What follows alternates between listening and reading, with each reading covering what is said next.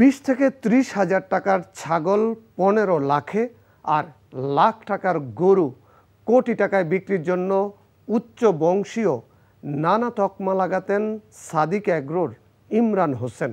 আমদানি নিষিদ্ধ ওই সব পশু আনা হতো চোরাচালানের মাধ্যমে। অথচ বছরের পর বছর সেই সব পশু বিক্রি হতো প্রকাশ্যে।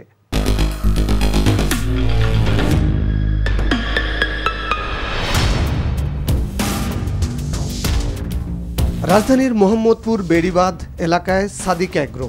সামাজিক যোগাযোগ মাধ্যমে কোরবানির পশুর চটকদার বিজ্ঞাপন ভেসে বেড়ায়।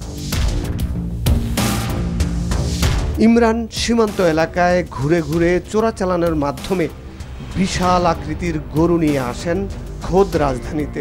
চোরাকারবারি ও ইমরানের যোগসাজশের তথ্য ক্রাইম ওয়াচ টিমের হাতে এসেছে। সেখানে ইমরানকে দেখা যায় সমাজের প্রভাবশালীদের সাথে। এমনকি পাশের দেশ মিয়ানমার এবং থাইল্যান্ডের গরু চোরাকারবারীদের সাথেও ইমরানের যোগাযোগ। তাদের মাধ্যমে কক্সবাজারের উখিয়া সীমান্ত দিয়ে ইমরুল কায়েসের মাধ্যমে গরু চলে আসে ঢাকায়।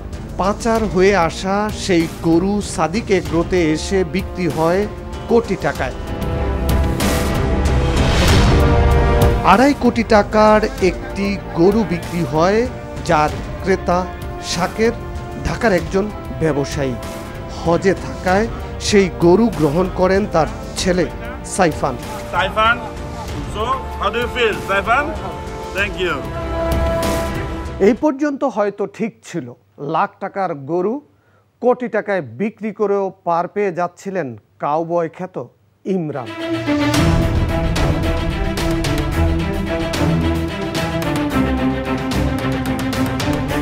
তবে একটি ছাগলে সব কিছু শেষ করে দিবে তা কে জানতো? লাখ টাকার গরু কোটি টাকায় বিক্রি করেও পার পেয়ে যাচ্ছিলেন সাদিক এগ্রোর ইমরান। হাজারের ঘরের একটি ছাগল পনেরো লাখ টাকায় বিক্রির ভিডিও সামাজিক যোগাযোগ মাধ্যমে ছড়িয়ে পড়ে। ছাগলটির ক্রেতা মুশফিকুর রহমান ইফাদ উনিশ বছরের এই ছেলে পনেরো লাখ টাকা দিয়ে ছাগল কিনে বাবাকে উপহার দেওয়ার কথা জানায় ইমরান। নেগেটিভ তো থাকবে হেটার্সরাও থাকবে যারা ভালোবাসে তারাও থাকবে। আমি যারা ভালোবাসে তাদেরকে নিয়েই থাকতে চাই। হেটার্সরা হেটার্সদের মতন কমেন্টস করবে but I don't mind carry on ছাগলের রশি ইফাদের হাতে চলে আসলেও খুঁটিতে টান পড়ে। সাদেক এগ্রোর আলোচনা ছাপিয়ে সবার নজর যায় ইফাদের দিকে। বের হয়ে আসে দুর্নীতির থলের বেড়াল। এ যেন কেঁচো খুঁড়তে গিয়ে সাপ বের হয়ে আসার গল্প। গণমাধ্যমে প্রকাশ পায় ইফাদের বাবা, জাতীয় রাজস্ব বোর্ডের কাস্টমস ও ভেট আপিলাত ট্রাইব্যুনালের প্রেসিডেন্ট।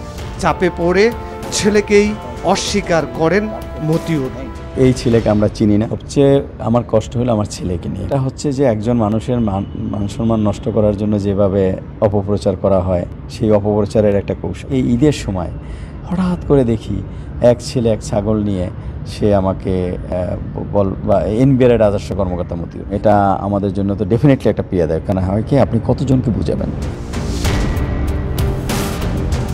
জল এত দূর গড়ায় যে মতিউরের দুই স্ত্রী সন্তান ও নিজের নামে সম্পদের পাহাড় গড়ার খবর বের হতে থাকে।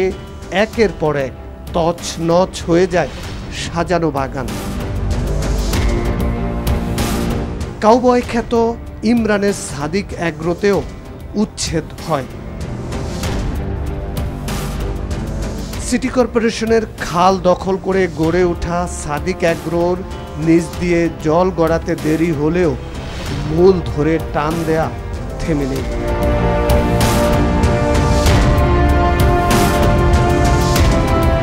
সাদেক এগ্রোর আসলে এখানে কোনো ল্যান্ড দেখা যাচ্ছে না। ওনার চার শতাংশ জমি উনি বলছে আমাকে কাগজ দেখিয়েছে। এই কাগজ আমি যাচাই বাছাই করার জন্য দিয়েছি। উনি দাবি করেছে চার শতাংশ কিন্তু বাস্তবে এখানে জমি আছে হচ্ছে এক বিঘার উপরে। এক বিঘার উপরে জমি দখল করে আছে। শুল্ক গোয়েন্দা সরকারি গো প্রজনন কেন্দ্রে ব্রাহ্মা গরু আমানত রাখার পর খেয়ানত করে সেই গরু কীভাবে সাদিক অ্যাগ্রোতে ফেরত আসলো, সেই নথি জব্দ করতে অভিযান চালিয়েছে দুর্নীতি দমন কমিশন। এমনকি সাদিক অ্যাগ্রোতে কে বা কারা কালো টাকা সাদা করার জন্য বিনিয়োগ করেছে, সেই অনুসন্ধানও শুরু হয়েছে। এখানে আমরা পরিচালনাকালে ষাটটা এই ব্রহ্মা প্রজাতির গরুর বাছুর পাওয়া গেছে। গরু জবাই এই খাতাগুলো আমরা সিজ করছি। সিজ সিজ করছে। ওখানে স্পষ্ট লেখা আছে ব্রহ্মদত্তের পাঁচটার মতো হলো গাভীর তথ্য ওনারা লিখে রাখছে। এই লাস্ট কয়েকদিন আগে। ঠিক আছে? ও- ওনাদের- ওনাদের খাতা অনুযায়ী। এই তথ্যটা আমরা পাইছি অলরেডি এবং এগুলো আমরা সিজ করছি নিয়ে আমরা আমাদের অফিসে জমা দিয়ে পরবর্তী আমরা কাজ কার্যক্রম পরিচালনা করব। দর্শক জাতীয় রাজস্ব বোর্ডের কর্মকর্তাদের নিয়োগ দেওয়া হয় রাষ্ট্রীয় কোষাগারে। অর্থের যোগান দেওয়ার জন্য। কিন্তু ছাগল কাণ্ডে ধরা পড়া মতিউররা ব্যবসায়ীদের জিম্মি করে কীভাবে অঢেল সম্পদ গড়েছেন, এতক্ষণ দেখলেন সে দৃশ্য। এ ধরনের অপরাধীরা প্রশাসনে এমন এক সিস্টেম চালু করে রেখেছে যে সিস্টেমে পা দেয়া ছাড়া আর উপায় থাকে না।